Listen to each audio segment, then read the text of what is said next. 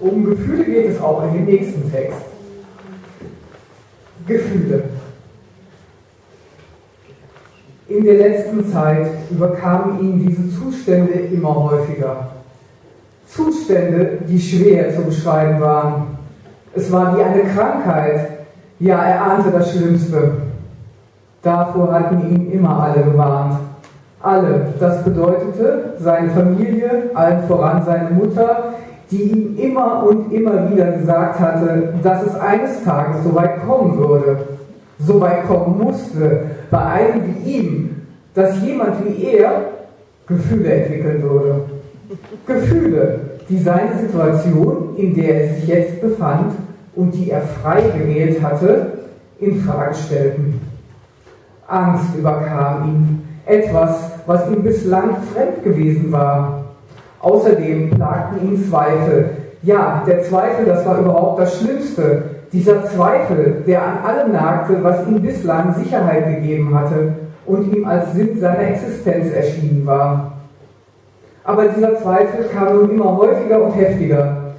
Er stellte sich Fragen, die er sich bislang verboten hatte. So fragte er sich beispielsweise, ob seine Haltung, gebückt am Boden kriechend, orthopädisch überhaupt empfehlenswert war. Diese Frage hatte er sich in den letzten 25 Jahren, in denen er diese Haltung schließlich angenommen hatte, nie gestellt. 25 Jahre, die er in einer, wie er bis vor kurzem angenommen hatte, glücklichen Ehe verbracht hatte. Einer Ehe mit Marie-Therese, die ihm nach fünfjährigem unermüdlichen Werben erlaubt hatte, sich dauerhaft zu ihren Füßen zu werfen, um fortan auf dem Boden, der von ihr berührt wurde, herumkriechen zu dürfen.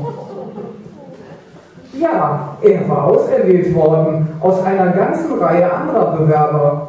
Und es hatte ihm bislang nichts ausgemacht, dass eine Bedingung ihres Ehekontraktes gewesen war, dass er seinen Kopf nicht höher als bis zu ihren Knien heben durfte. Es hatte ihm auch nichts ausgemacht, dass er im Laufe der Zeit erst ganz zarte, schließlich sich immer deutlicher abzeichnende, abzeichnende Varizen an ihren Beinen wahrnahm. Schließlich bot sich ihm dadurch auch eine gewisse Abwechslung in seinem Alltag, den er selbst aber nie jemals als eintönig zu bezeichnen gewagt hätte. Auch hatten ihn der zunehmende Duft ihrer Füße, den andere als Schweißgeruch bezeichnet hätten, nicht weiter irritiert, geschweige denn gestört. Was war es also? Was war der Auslöser seines Zweifels und der anderen beunruhigenden Gefühle? Er ahnte es. Ja, wenn er ganz ehrlich war, wusste er es sogar. Der Zweifel hatte ihm je befallen, als die neue Kammerzofe, ein junges Ding von höchstens 20 Jahren, das Zimmer vor drei Tagen betreten hatte, in dem er sich seit seiner Eheschließung aufhielt. Im Grunde hatte sie die Frage gestellt, die nun auch ihn seither beschäftigte. Sie hatte ihn gefragt, ob ihm seine Körperhaltung nicht etwa unbequem sei und ob er sich nicht vielleicht ein wenig oder gar völlig aufrichten wolle. Und nicht nur dies, sondern auch etwas anderes hatte sie getan. Diese Person hatte ihn mit seinem Namen angesprochen und sogar noch ein Herr vor diese Anrede gesetzt. Herr Egon hatte sie zu ihm gesagt. Egon, ja, so hieß er wohl. Diesen Namen hatten ihm seine Eltern vor 52 Jahren gegeben. Ein schöner Name, den er aber schon seit Jahren, seit dem Moment seiner Verbindung mit Marie-Therese, nicht mehr vernommen und deshalb beinahe vergessen hatte. Sie spürte die Veränderung deutlich. Nichts lief mehr den gewohnten Gang.